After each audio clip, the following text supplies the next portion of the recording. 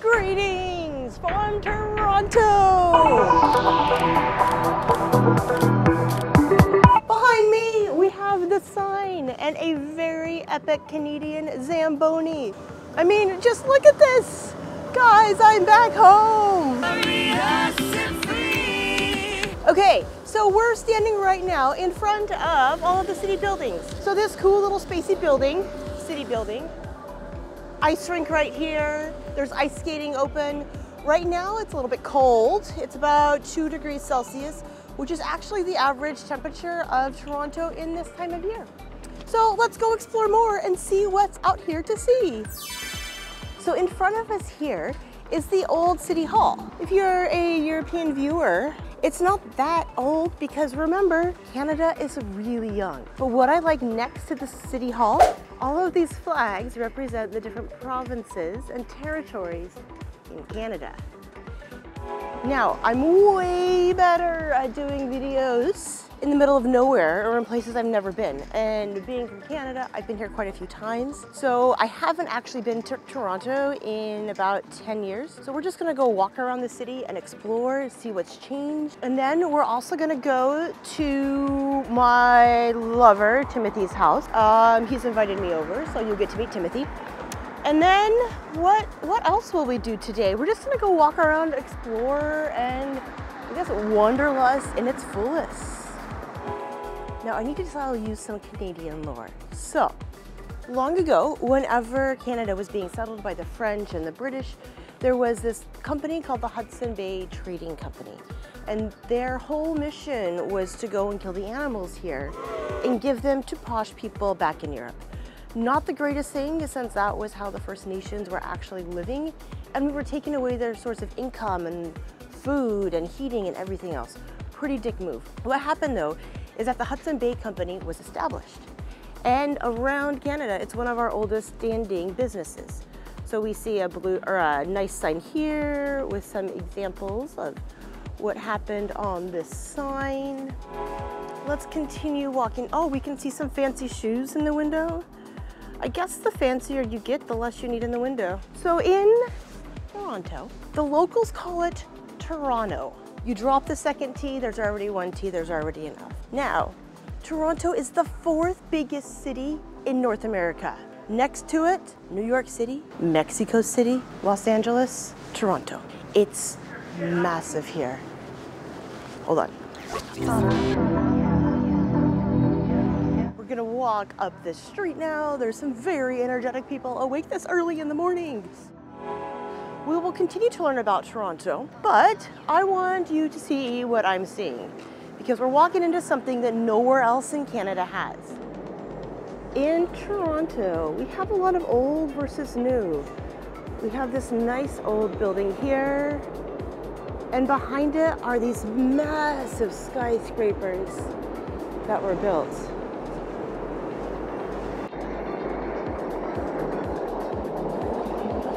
There's a lot of noise, and I hope the camera catches that.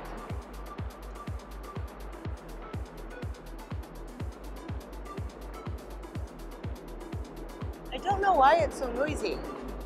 Okay, the noise has suddenly disappeared. You guys, the city's really weird. I found the noise, you guys.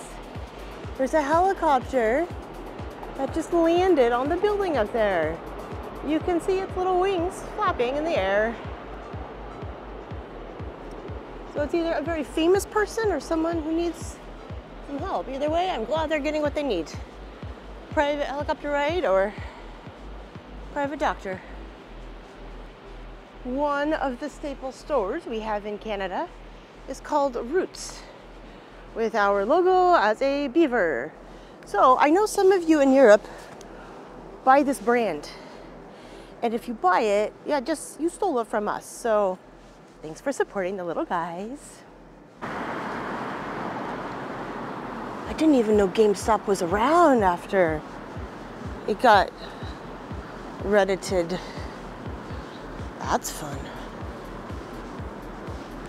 Okay, so if you're watching this, we're totally gonna just do a whole podcast on Niagara and Toronto because there's so much cool stuff here.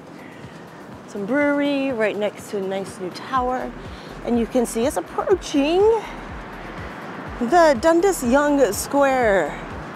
So aptly named because it comes at the intersection of Dundas Street and Yonge Street. We can see all of these TVs on the top. It looks like Usher's coming to town. Cool. I don't know what the Spartans is. Maybe I should get better with media. Hey, I know what Pepsi is. At least I'm one for three in all of these advertisements.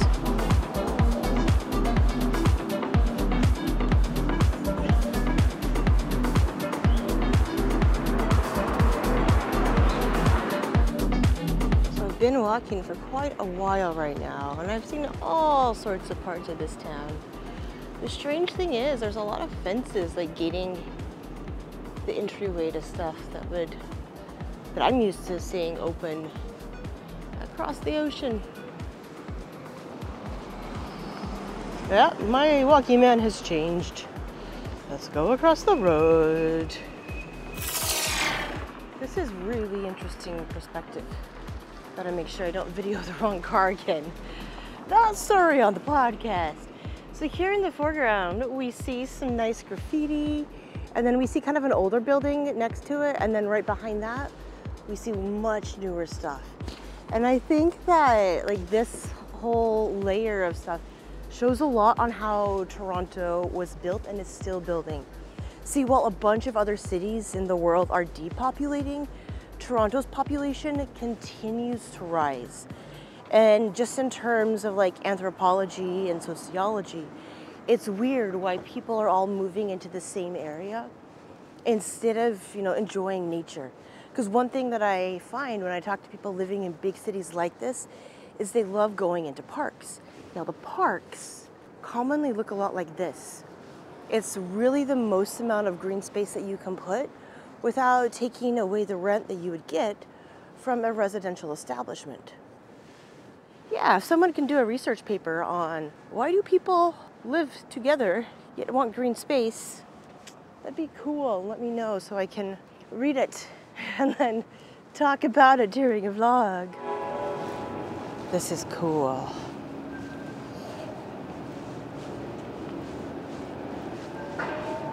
No, there's a car coming in my alley. My alley car, my alley. Nice. Okay, so we've moved out of where I was at. And now before I go show you the next thing that we're gonna go see, I think it's time to swing by my friend Timothy's house. A little bit morning, I'm a little bit cold. And I think it's time to have my my chat with him. So let's go meet Timothy. Timothy's balls, Timothy's croissants, Timothy's muffins. For my UK viewers, we have something in Canada called a London fog. It's delicious. I know it's not London, but it's delicious. So if you come here, you should try one because it's really good. Timothy asked me over for coffee. So, pro tip if you're coming to the house of Timothy for coffee, it's not on the menu as you can see on the board, but they have a coffee called a double double. Now, it's like two creams, two sugars. There's like triple, triple, quad, quad, but who does that much? Usually I don't put sugar in my coffee, but for Timothy, the double double is a recommendation to do. So I'm gonna go drink my coffee and then we're gonna go explore something new. The skyline is pretty insane. So coming from Europe, we don't have a lot of these buildings because the airspace is actually not available to be built in. So like specifically in London, you can't build up high in London City because there was like some building code where you needed to be uh, shorter than St. Paul's Cathedral. And that's why in London you see only a lot of the super tall buildings in stuff like Canary Wharf or in the financial district where the airspace isn't necessarily uh, rented or sold. Here, all of this airspace up here, just having buildings, oh, massive truck. It's a little bit uh, weird. So we are currently entering what is known as Old Town. Um, it doesn't look very old, so don't judge the name. The name though came from whenever this whole area of Toronto was called York. So the old town name dates back into like 1815. This is where the first part of York of Toronto was started to be set up. So a lot of the buildings that we see around here are from back then. And we're gonna go see a very cool one. So our first super cool building is this building right here. Now this was the first bank of Upper Canada. And in Niagara, we learned about Upper Canada. So all of the money was stored here. So this was founded in 1821 and kind of kind of part of the Canadian history before we were even a country. Now I get to show you why we're actually walking down the street. I see it right in front of us, and I'll show you. It's this, you guys, this. This is the first post office in Canada. So, whenever Canada was first becoming a country, one of the things that it gained by establishing itself separate from the British Empire was that it got to establish its own post office, its own bank system, yada yada. So it's being able to see one of the first banks and the first post office that we had is pretty cool. And that's why we see the British flag and the Canadian flag up here. Let's go walk up the steps.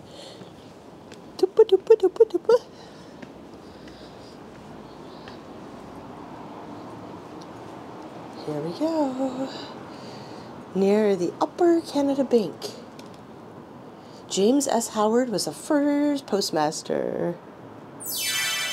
We have entered a, a new part of town. The more east we go, the more the town changes, as it does in many places. Let's go walk. Okay, I've got to apologize for the lack of banter. After being out of Canada for 10 years, it's really weird being back. So I'm just kind of exploring this as you're exploring it. We're exploring it together and figuring out what's here and what's not. And it has changed, it's changed a lot. Yeah, changed a whole lot. There's so many new buildings. Like, remember I mentioned the city is continuing to grow.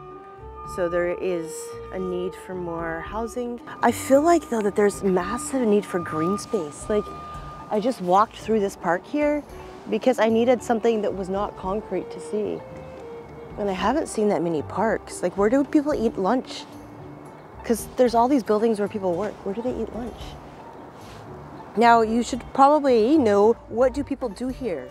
As the fourth biggest city in North America, you can guess it's a tech hub. In fact, it's the second biggest tech hub next to Silicon Valley. So a lot of companies are actually setting up tech hubs here um, because cost of living here is cheaper than it is in Silicon Valley, which means paying workers here is cheaper in Canada than in Silicon Valley. Also, thanks to the strength, I guess the weakness, the strength, whatever, of the uh, Canadian dollar right now. So there's tech, there's finance, there's industry, there's manufacturing. It's basically everything that you could think of is here in Toronto. So let's continue to go and walk down, walk down this little almost green space. So behind us, you can see that super tall pointee. That super tall pointee is the CN Tower, and it's the tallest tower of its type outside of East Asia. So later today, we'll go see it. Maybe we'll go up in the tower if it gets more visibility. If there's not visibility though, because it's super just gray and cloudy today, you can't see very far and it's really expensive to go up. And I don't want to waste money just to see clouds because I can do that in an airplane.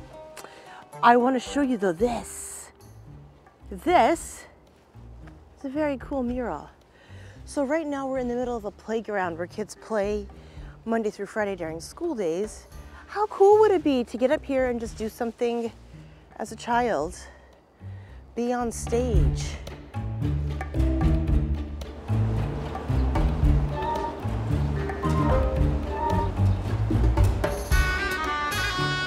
So you may be wondering, where's all the people? If there's over 4 million people in this city, where are they? You don't see 4 million people. Welcome to my world. I can find empty spaces even in the fourth biggest city in North America. Just look at this. Empty heart. Empty streets.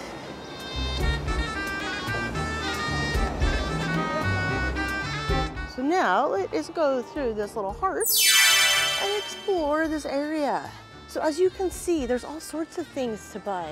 A dress that you would buy, I don't know, five or six times in your life, I guess. If you're into getting married or into white dresses, you can buy some things to put on a shelf and put things in. There's some, oh, this looks like a cool store. Oh, it's a tour store. I thought they were actually selling go-karts and I was very excited about that because I was gonna come back and just see if I could go for a test drive. There's some other little cute shops around here, coffee shops, all sorts of shops. This is the distillery district. And what makes it unique is like many other districts, it's super artsy. So there's like a lot of little single vendors in here, no chain stores. It's the oldest Victorian area though, Victorian built architecture area in North America. So all of the buildings have mostly been reconstructed as you can see. And a bunch of stuff has been rebuilt or just preserved in the late 1800s, early 1900s manner. Now, I don't think this spider's Victorian. Maybe he was. Is it a spider or one of those head scratcher things? You know, like the. Not entirely certain, but it's kind of cool. Beer spider. Oh, thank you. Thank you. So in the summer and for winter market and stuff, there's shops that line both of these sides. But as you know, I am queen at finding empty streets. Oh, let's go take a look at this sculpture. Right next to this very blue window. That's pretty. Appreciation time! You know what we've been missing? A porta that's abierto. Everything here is shut. Fence shut. No portas that are all abierto. Go explore. Okay. I think we'll have to go find a porta that's abierto. Because I need to go in one of these buildings. If you happen to come shopping and you happen to like shoes, this John F. shoe store is highly recommended. Now, if you don't like shoes and don't like shopping, then don't go in there. But it's stuff like this. Very cool shoes. Let's see if I can get you a better photo. See, very cool stuff.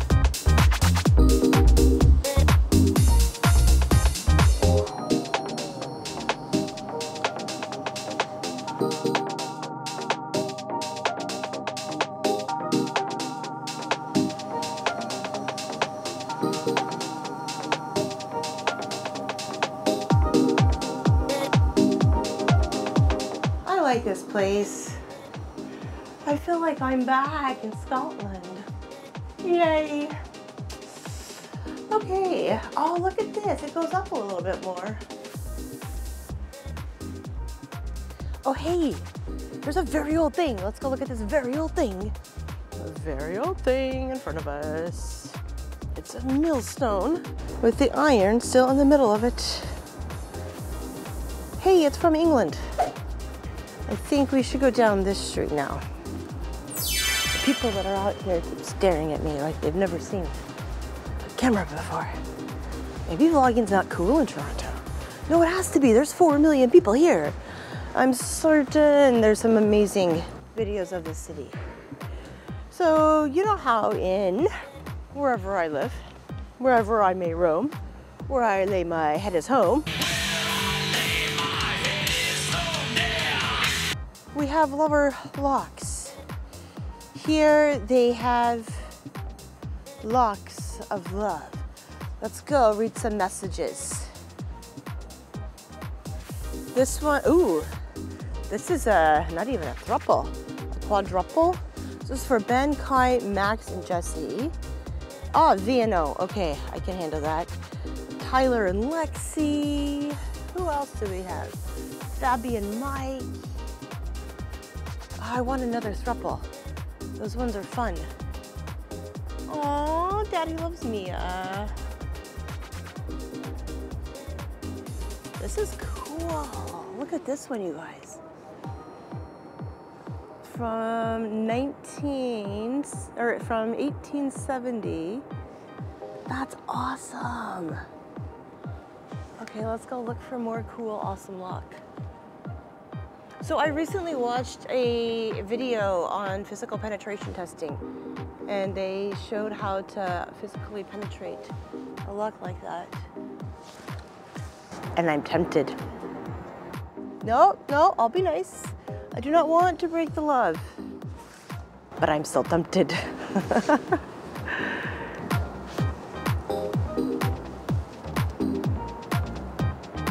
Maple matchup? What? Oh, here's another cool one. Oh, this one's pretty. Look at that. Wow, that one's awesome. Get my hand out of that. There we go. Ooh, I can't get up that high. There's another cool one that I can see, but you can't. Let's go explore more. Hey, this is an escape room. Fun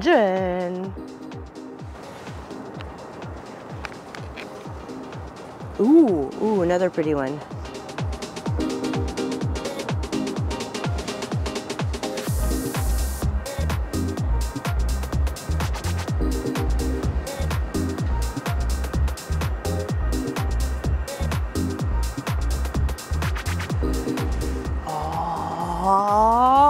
Tempted. Okay, I'm sure there's bad luck if you do something with that. So I will test it on my own roundy dial lock. And if you know of any other good tips for locks, you know, tell me. So let's go continue down this fun little pathway. a puerta that's abierto, but everyone's going into it. Maybe I don't want to do that. Oh, now this is fun. Here's a puerta that's abierto. Check this out. Oh, look how awesome this place is. You guys, this is my ideal restaurant. Table for one, bar for everyone. Hello, Toronto. Look at this. Ooh, washroom. So apparently in 1920, similar to the US, Canada also made alcohol illegal. And they ended up putting industrial stuff in alcohol so people couldn't drink it. And that happened inside this house. Now, let's go. The puertas abierto. Let's go warm up my. Oh, that was loud. Oh, we can see all sorts of old stuff in here. Well, this is cool. This is where all sorts of distilling happened, hence the name Distillery District. Sheet metal handbrake. So whenever they were building sheet metal, you had to pinch it somewhere. And that's what that is. Oh, our sign is over here. What is this? This is a massive drill press. Check that out. That must have drilled some pretty large holes. Like stuff for making energy like that. Ooh, donde está el baño? El baño está a la derecha. À la gauche la droite la femme.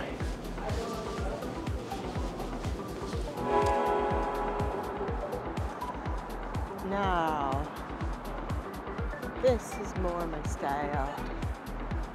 I'm walking on this path and there's all these runners. Sure, there's traffic, but it's a little bit more open and there's not so many buildings. Like in city center, I got really claustrophobic. Like it was just concrete street, concrete pavement, concrete street, concrete pavement, tram, tram, and yeah, this is nice. I'm okay with this. So I'm in this area and like over here, beyond that wall, there's the sea and these houses start at $2 million. How can people afford that? So these guys, as you can tell, are still being built. It looks like these ones, they're starting to be moved in. They're not all populated. And the major part of the city we can see in the distance. You can see all of this area is being gentrified. And I don't know how I feel about that. I mean, I think it's great that Canada is growing and that the economy of Toronto is thriving, but also like people used to live here and well, I don't know where they're living. I do hope that we're putting them up somewhere though. Um, four million people, a lot of people. One thing I also need to tell you about Toronto. So, on a happier note, it's also called the Six. S, number six, IX. Why is it called the Six? Well, back in like, I think 1998, there was six major boroughs around here, like Scarborough, York, East York, and a couple of others. And as a cost, caving, cost, cost savings measure, the person in charge was like, hey, we should just unify all of these together. We'll save a bunch of money and then we'll have a mega city. Now, it's very unclear if it was saving costs or if he just wanted to have the fourth biggest city in North America. Um, but yeah, that's what happened, and that's why it's called the Six, and also why it's so big because it's actually six different normal-sized cities now operating as one. One police center, you know, one mayor, one yada yada. So now you know. So over here, we can see some islands. Now, what are these islands? Well, yes, they're islands, but they didn't used to be islands. See, it used to be this peninsula that was attached to Toronto. But then, a little while ago, a massive storm came and disrupted the little land bridge that was having it there. So now they're just islands. And there's a ferry that goes to those little islands. If you want an amazing view of the skyline, highly recommend going there. There's also beaches there, so if you come in the summer, awesome beaches to go on. Uh, you can have a picnic. There's like little restaurants and stuff over there. Obviously people live there, which you can see with the, with the houses. See, houses, people live there. But it's an amazing nature escape. So if you come here and you're just like, oh, I'm sick of it, uh, hop on the ferry, go across to the islands. There's also an airport on one of the islands. So if you don't want to fly into Toronto Pearson, there's a Toronto City airport that you can fly into. Now the airport's tiny and the landing is very aggressive. So just be aware of that. But other than that, yeah, you can just like hop off the airplane, walk 10 minutes and boom, you're in downtown. It's time to eat. I found a grocery store. One thing I find fascinating about grocery stores in North America is how perfect they are. Like every row of grape has its own row. All of the mangoes are organized by column. And it's it's just very clean. Oh, oh, oh. That's not clean the wide range of product here also tells me we're not in Brexit anymore. Yay! Check all of this stuff out. Oh, I haven't seen these in forever. Purple carrots. What will I eat? Not the Zamboni. This is massive, massive, massive variety of meat. I don't even know what this is. So one thing too, if you're shopping for meat in North America, it's not, chicken's not yellow.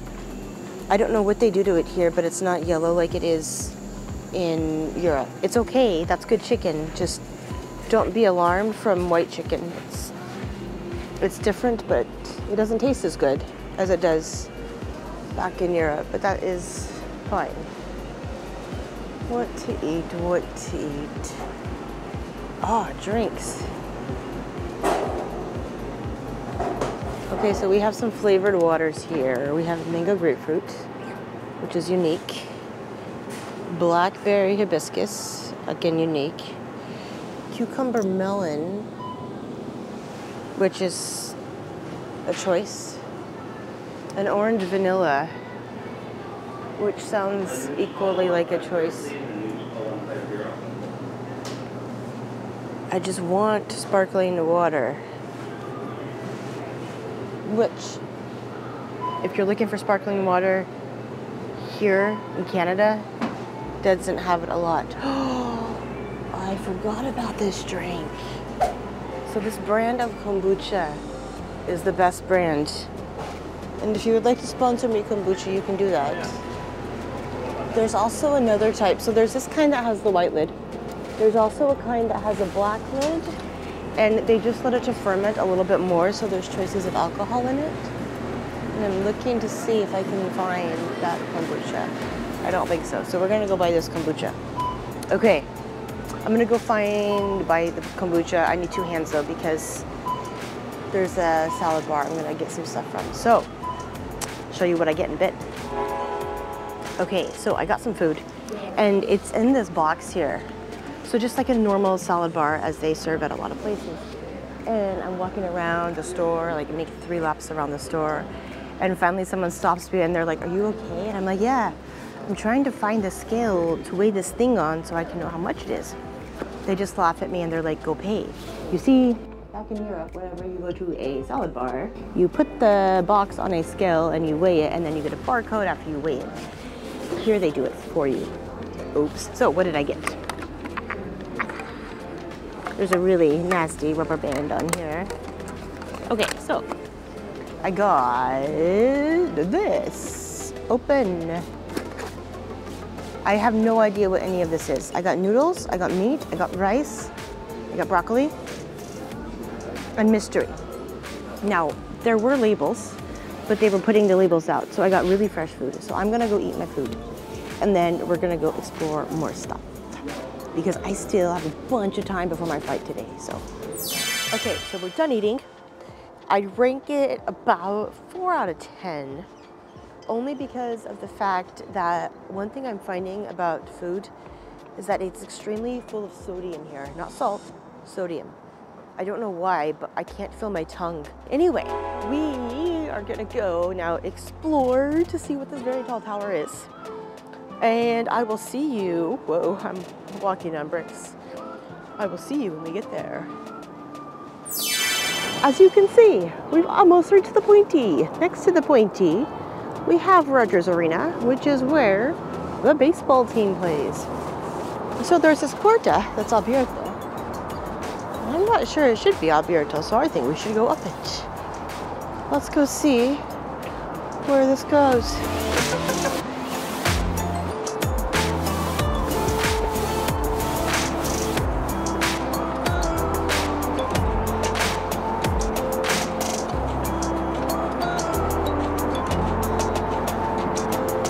We have now entered a sign.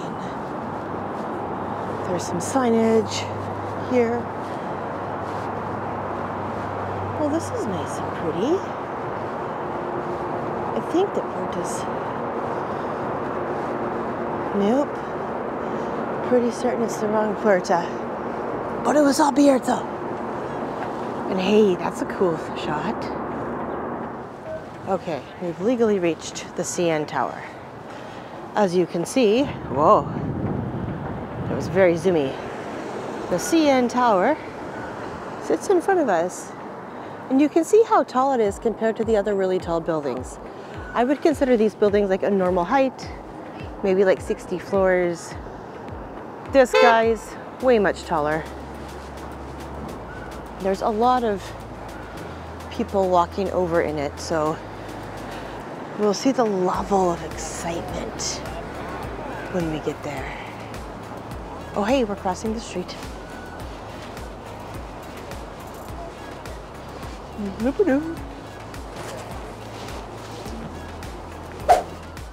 So one thing I feel like London does right, like all of the cities in the UK, it tells you on the floor what way to look if you're gonna cross the street, which is really useful if you're not from there.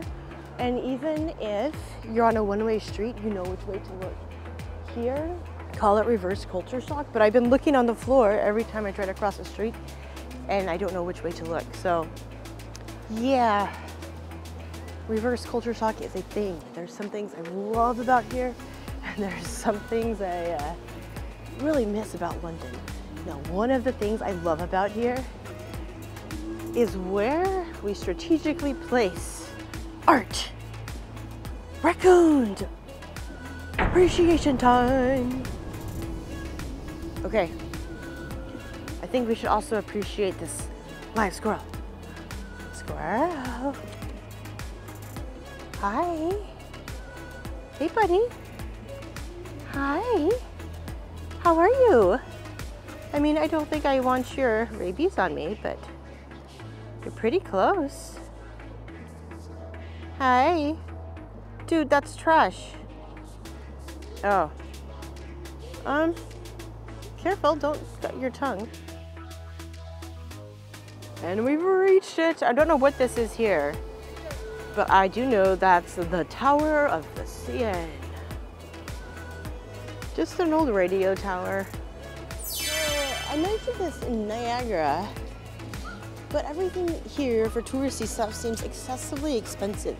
To go up in the elevator up there, it's $45 per person plus tax. So like $55 to go up there. Now, what could I do for that in London? Go ride the London Eye? uh, go on a two-day bus tour around the city. So yeah, we're not gonna do that because I'm on a budget. And unlike I thought when I was a child, money just doesn't appear in my bank account magically. so let's go see what else we can do around here for free. I have people in my video. Yay! So, like a lot of other big cities, there's a lot of sports teams in this city. Ahead of us, we have an arena for one sports team. I think this is for hockey and basketball. And then literally right behind us, probably 200 meters away, we have the baseball arena right next to CN Tower. Now, while it may seem really close to each other, where else are you gonna stick two massive buildings that you need to play those sports? I also find it kind of cool that if you're super into sports and like both your basketball guys and your baseball men are playing the same day, you can just like walk down here, grab a couple of drinks at these nice establishments and go watch your sports teams. So yeah. Um, as you may see, I'm very tired. I've been sick for like the last two weeks, and I know it's not COVID because I am very much able to smell the streets of urine and other things. So I kind of wish it was COVID for that respect. Not COVID, but I'm tired and I'm jet lagged because in my in my day, I'd be going to bed right now, not walking around a city with a camera. But hey, here we are. And in front of us is the Union Station. So whenever Canada was setting itself up, you had to get across the country. And as the second biggest country in the world, you needed a pretty big railway station to set up. So one thing I find interesting about this is that even still today, you can actually take a train all the way across Canada. It's like $10,000 at the cheapest, but you can still do that. Can you do that down south below in the US? No. Can you do that in Russia? Yes. So if you want to go spend a bunch of money, it comes through this station. Up. gonna get hit by a car. Um, yeah, so the Canadian Railway connected the East and the West Coasts together and it helped the trading process as well, which I don't know if that was a positive thing or a negative thing. It was just a thing that happened. So the people who were first here could continue to go and kill the beavers and other animals for the furs to send back to the bougie Europeans. So right now, I'm waiting for this very green truck to move so I can cross the street. Oh, we're filming a commercial behind us. Okay, we're gonna go behind this guy. We are going to a place that I feel like I have to go. So if I have to spend money on something, we're gonna spend money on this. Now I've been there before, but I feel like it's my right as a Canadian to go and just have it on video that even though I don't do sports, we've gone. So we're going to the Hockey Hall of Fame. And I'm gonna go finish walking there and I will see you when I get there. Okay, so the entrance to Hockey Hall of Fame is down that escalator right there. But I'm too tired. So I'm gonna sit here on these steps right next to this bank. Because that doesn't look suspicious at all. Uh, take a little rest. And then we'll go see if we wanna go down there or not.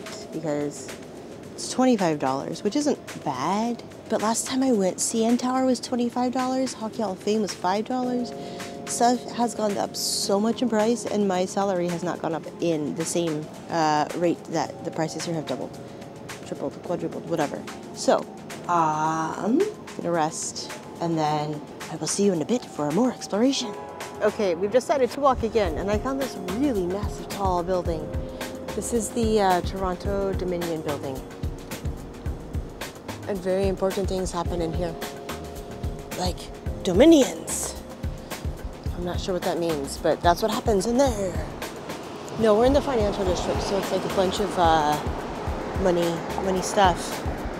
That said, if you guys want to give me money, give me money. I go to better places. Okay, so Hockey Hall of Fame didn't happen because I realized the thing I like about coffee, coffee, the thing I like about hockey the most, whoa, is not necessarily the sports, but it's two things Zambonis and beer. Because whenever you have to play the hockey, you have to have beer and you have to have a Zamboni to smooth out the ice. So we're gonna go try to find at least one of those two things because my flight leaves just, I don't know, in a little bit. I should probably see what time it is. And I have to figure out where my backpack is and then I have to figure out how to get to the airport. So I feel like all of those combined together is gonna be enough time for me to have a beer, enjoy, and then we'll see where where the airplane takes me next. No, it's uh it's, it's a school week, so I have to go to school next week. But I wonder where I am. I have not been down this street yet. I have walked about 30 kilometers, I think, today already. And I have not retraced my steps once. That is how big the six is.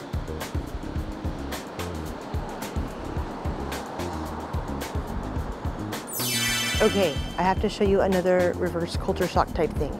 So I mentioned I've been walking here a lot, like a whole lot. A normal trip like this that I would take in Europe I would see a bunch of stuff to stop war, to end war. The only thing I've seen here to give awareness about what's going on in Gaza or what's going on in the Ukraine is this tiny little sticker here, way up high on the pole. I don't understand why there's not a bigger push or awareness of what's happening across the sea because it's pretty bad. So if you're on this side of the pond, guys, it's pretty bad. So yeah, just be empathetic to those who are impacted by it. So now we are gonna go and use the revolving doors since that port is not abierto. Let's come in here.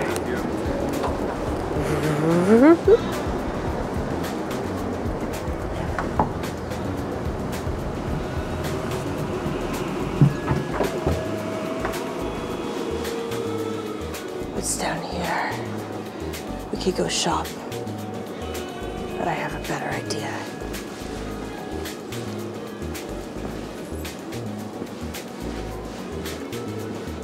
I feel like it's a sign. I was talking to a friend last night and we were talking about Clockwork Orange. So if you're the friend that's watching this right now, it's a sign. Red rum, red rum. Okay, I found my next destination. Cheers. So I'm gonna kill some time here, play some video games on my cell phone. And yeah, time to go explore a new part. And with that, I'm gonna hand it over to me of the past to sign us off because it was a much more cool location than where I'm at now. Thanks for watching my video today about Toronto. I hope you love it as much as I do. Like, subscribe, drop a comment, and tell me where I should go next because I'm always looking for new places to go and explore and adventure. Ciao.